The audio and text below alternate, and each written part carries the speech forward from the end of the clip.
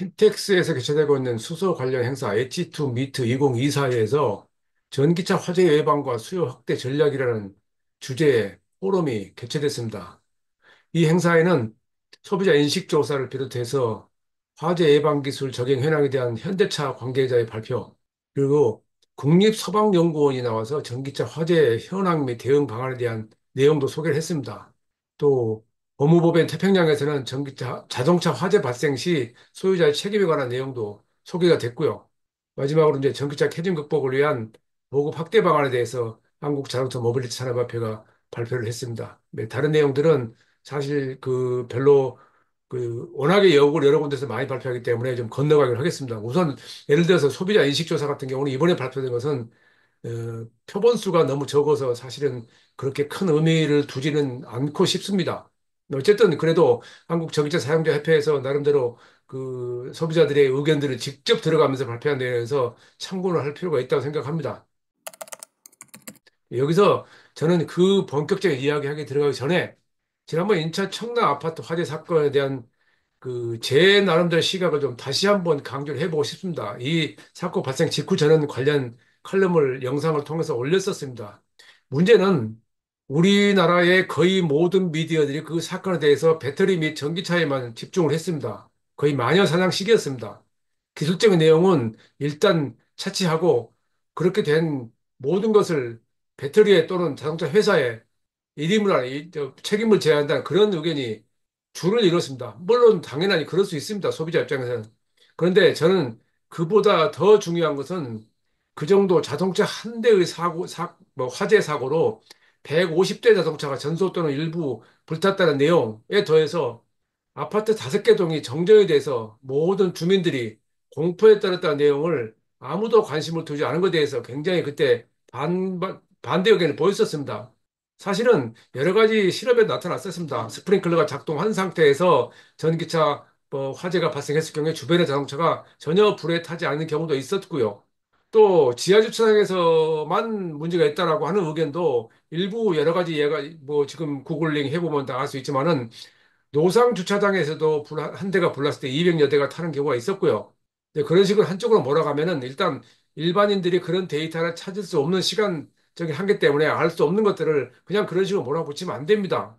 저는 그때 걱정했던 게 그 5개 동, 5개 동 아파트에 거주하는 주민들은 지금까지 누구 하나 좀 시체 말하면 입도 뻥끗 못하고 있습니다. 그들은 얼마나 고통, 공포 또는 그들 가족 중에 어, 문제가 있는 또 환자도 있을 수가 있고요. 그랬을 경우에 전기가 들어오지 않았을 경우에 겪을 수 있는 어려움은 누구나 다 알고 있지 않습니까?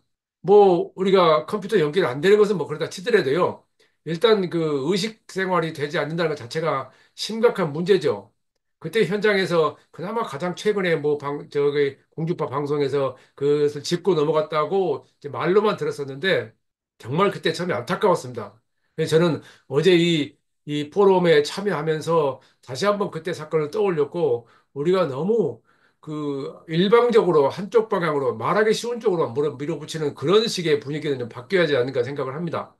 저는 지금도 그 오개동 아파트 주민들의 공포감에 대해서 직접 제가 겪지는 않았지만 그런 어, 예를 많이 뭐 취재를 하고 겪어왔기, 저, 보아왔기 때문에 그런 것에 대해서만큼은 우리가 지금까지와는 다른 자세로 접근을 해야 한다고 분명히 생각을 합니다. 어쨌든 오늘은 그걸 중심으로 그 화재 관련, 전기차 화재 관련 현황하고 뭐 상황 이런 것들을 중심으로 좀 몇 가지 소개를 해드리겠습니다. 이제 잘 아시겠지만 전기차 화재의 특징은 발생 시점이 주차 중 또는 충전 후, 충전 중 뭐 상황이 다양합니다. 그러니까 내연기 환차는 주행 중에 발생하는 경우가 주로 많이 있다고 지금 알려져 있습니다. 물론 그것도 통칭할 수는 없죠. 또 그 열폭주 현상이란 것 때문에 진화가 어렵고 지금 당장에 효과적인 제어 방법을 도용을 할수 없어서 어렵다라는 말을 하는데 어제 국립소방연구원에서 발- 날 발표를 한 그분의 이야기는 지금 적어도 시간 내에 적, 적정한 시간 내에 신고가 되면은 한 번도 그 화재 제압을 실패해 본 적이 없답니다. 상당히 중요한 얘기를 했어요. 다시 말해서 소방서 측면에서는 소방당국 측면에서는 관련해서 대응을 마련하고 있다는 얘기가 됩니다. 또 하나는 피해 규모가 크다. 그래서 그 예를 들어서 지금 이것도 좀 다른 차원에서 이야기를 하자면은 우리나라에서는 자동차 사고가 났을 경우에 문 도어가 열리는 것을 원칙으로 합니다. 그래서 빨리 도망쳐라 이거죠. 그 전기차 사고가 발생했을 경우에 그 상호가 어떻게 됐든 간에 지금까지 전문가들은 그것을 화재를 진압하려고 하지 말고 피해라라는 이야기를 합니다. 근데 또 한편 미국에서는 자동차 사고가 났을 때 문이 다 열리지 않는 걸 원칙으로 하는 경우가 있습니다. 주방, 주, 주마다 다르긴 하지만요.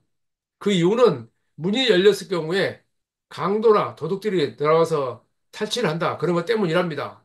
문화적인 차이가 안 되래도 여러 가지 그 차이를 나타내서 말씀드린 내용인데, 우리가, 그러니까 다시 여기서 제가 드리고 싶은 말씀은 세상 모든 일이 그렇게 똑같은 하나의 원칙으로 굴러가지 않는다는 것을 알아야 될 필요가 있다는 겁니다. 또 재밌는 내용 중에서 우리가 알고 있는 것들 포함해서 하나 더 추가가 이번에 됐는데요. 이 화재 원인에 대해서는 물론 이제 배터리 제조 과정에서 문제가 있을 수가 있고요. 또 기계적 충격으로 인해서 손상이 화재 유발에 또 요- 요인으로 뽑힙니다. 열폭주로 넘어가 우리가 알고 있는 내용이죠. 저 배터리는 수평 화염이라고 하는 그런 형태로 어, 불이 번지죠. 그러니까 셀이 나열되는데 그 셀이 하나가 불이 붙으면 나머지 셀이 모두가 한꺼번에 쫙 붙어버린다 그런 얘기인데 이번에 국립소방연구원에서 지금 발표한 것은 온도 조건에 따라서 우리나라에서 는 차이가 있다는 유의미한 데이터를 제시했습니다.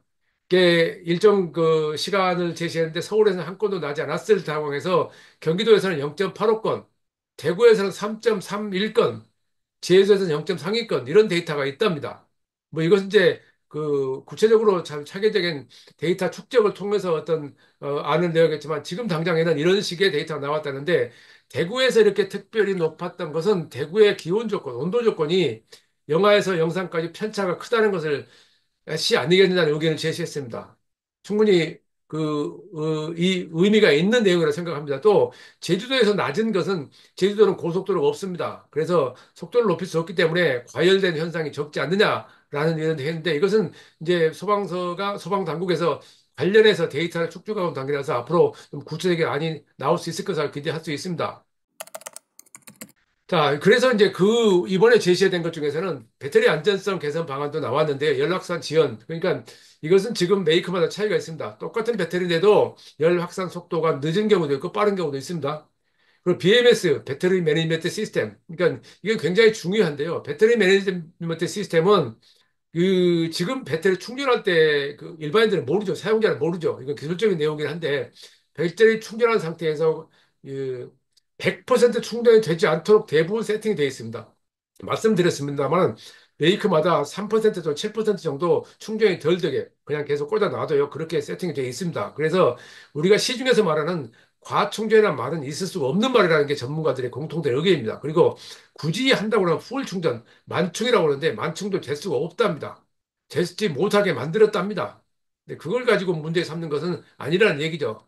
또 그럼에도 불구하고 지금 BMS가 더 고도화돼서 충분하게 예, BMS 쪽에서 이상 상황이 감지되면은 모니터링을 하고 그것을 전달하고 개인에게 전달하고 또는 소방당국 전달하고 해서 사고로 위험된 뭐 연결되는 걸 막아야 한다는 그런 얘기가 되겠습니다. 그리고 배터리 세일 단위의 인증을 해야 된다는 것을 지금 제시했습니다. 그러니까 지금은 배터리 팩 단위로 또는 자동차 회사 단위로 사전 인증제가 도입됩니다. 자동차 회사에서 테스트를 해서 이상이 없다고 판단하면은 국토부에 신고를 하고 신고하고 나면 판매할 수가 있죠.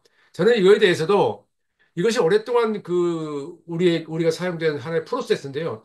이 프로세스가 여러 가지 문제로 다른 상황이 발생하게 있다면은 이 프로세스 자체를 바꿔야 하지 않는 생각을 합니다.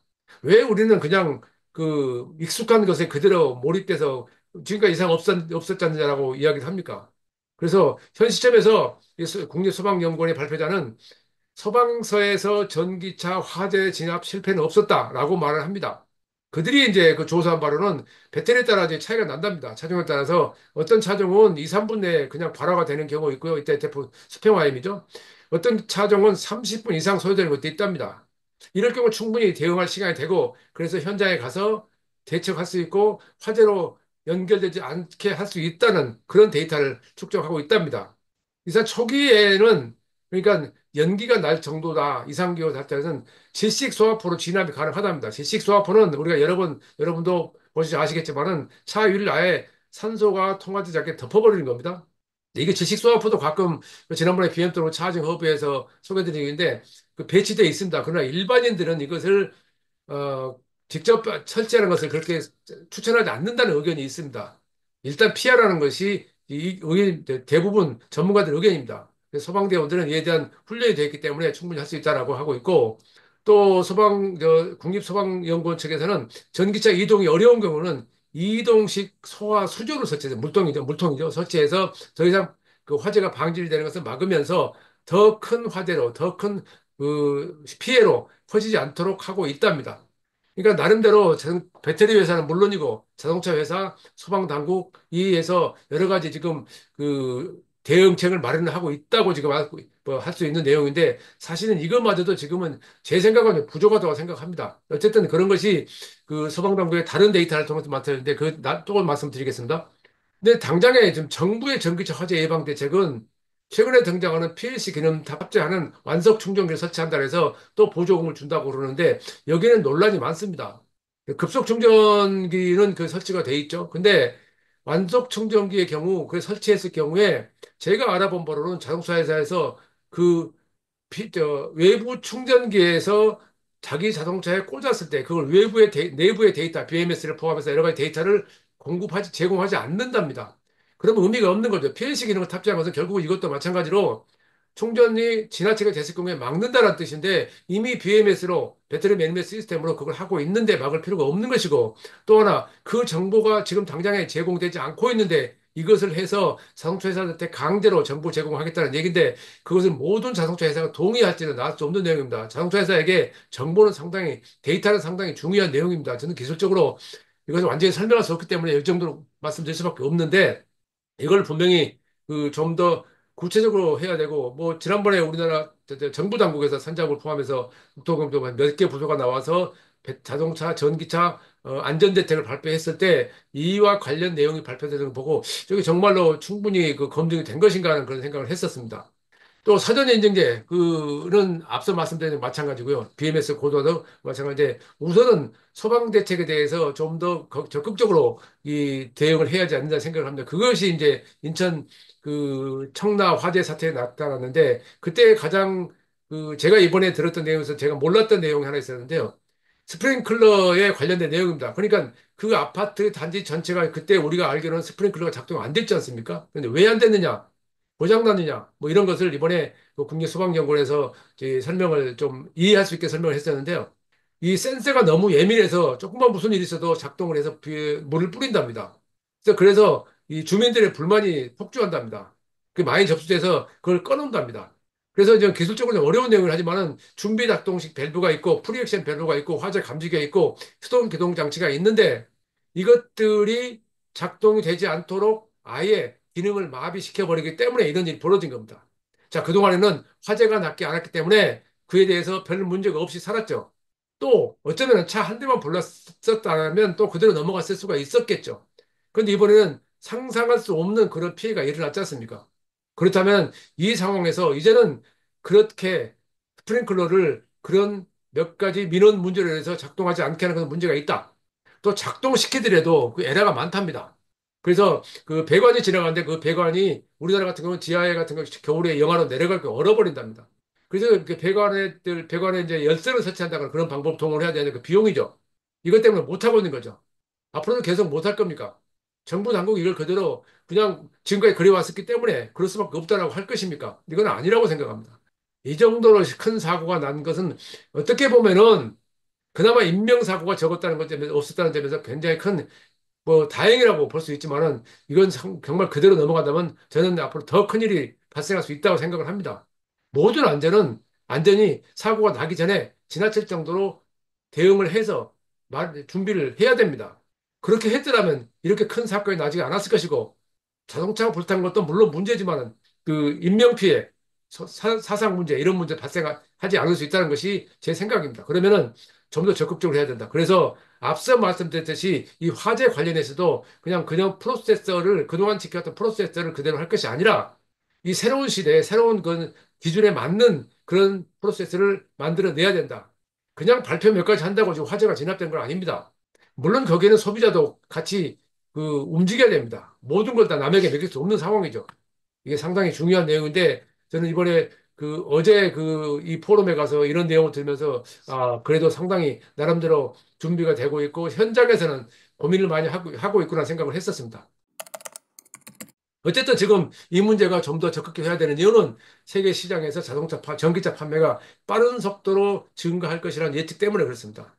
이제 대부분의 이제 그 컨설팅 회사, 시장 조사 회사들은 배터리 전기차 시장이 2030년에는 시장 점유율 35%, 35%, 2035년에는 60%, 2040년에는 75%라고 예측을 하고 있습니다. 그냥 그렇게 참고할 뿐입니다. 그 이것이 그렇게 될 것인지는 아무도 모릅니다. 지금까지 이런 데이터를 제가 많이 받고 많이 참고하고 저도 그걸 기사를 활용해왔습니다만은 그게 그대로 맞아들었던 적이 별로 없습니다. 어쨌든 그래도 불구하고 지금은 전기차는 전기차 시장으로 전환하는 것은 피할 수 없는 대세입니다. 또 이런 상황에 맞춰서 지금 그 이 국가적으로는 2023년 정도는 전기차 보급률이 20, 20%안 됐고 그렇게 증가할 것이지만 지금 단계 초기 단계에 불과했고 2030년까지 안전 기술이 고도화되고 2040년에 돼야 안전 시스템이 표준화된다 이런 의견을 제시하고 있는데 조금은 답답합니다.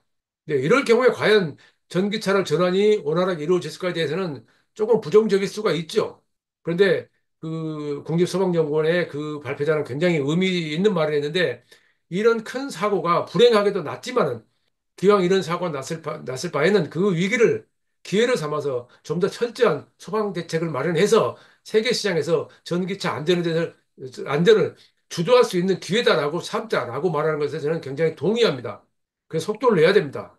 돈이 없다, 예산이 없다. 우리나라 요즘 그이 R&D도 그렇고 여러 가지 예산 문제를 많이 지금 어려움 겪고 있는데 국민의 생명과 관련된 것이고 국민의 미래와 관련된 것입니다. 그 예산 타령을 해서는 안 되죠. 지금 우선은 안전이 우선입니다. 어쨌든 제가 이 수소 관련 행사에서 전기차 관련 행 포럼에 참여하게 된 배경도 안전 때문에 그랬었는데 그동안 하고 싶었던 말 그리고 가끔 다른 칼럼에서 가끔 군- 그 듬성듬성 이야기를 했었는데 종합해서 한번 정리해 봤습니다. 채영석의 글로벌 insight 다음 시간에 뵙겠습니다. 감사합니다.